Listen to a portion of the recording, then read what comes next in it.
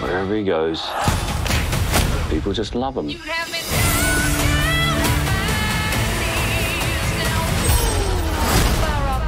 gotta be kidding me.